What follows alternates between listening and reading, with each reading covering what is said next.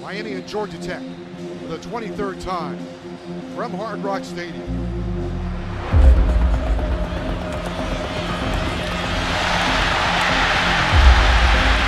also ran 14 times for 29 yards last week. There you go. Homer, he's at the 40-yard line. Homer outside the numbers at the 30. Homer to the 25.